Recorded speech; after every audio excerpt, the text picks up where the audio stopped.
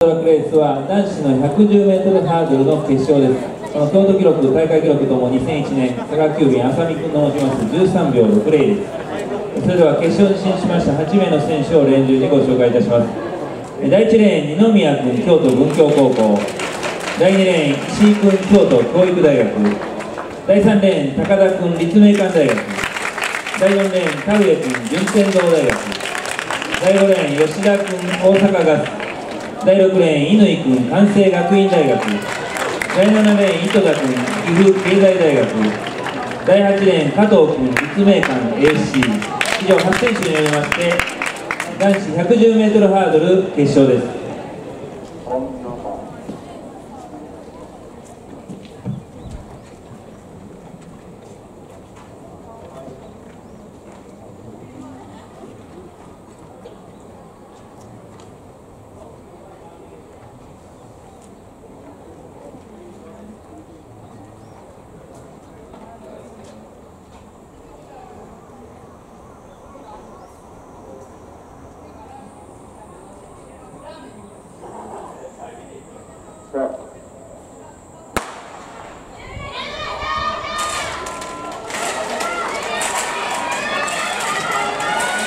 今度は順天堂大学の田上君。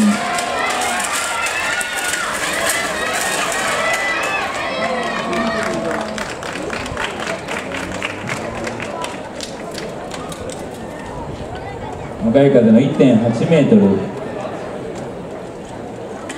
14秒15それでは正面さんの前では表彰です。女子 1500m の表彰です。表彰していただきますのは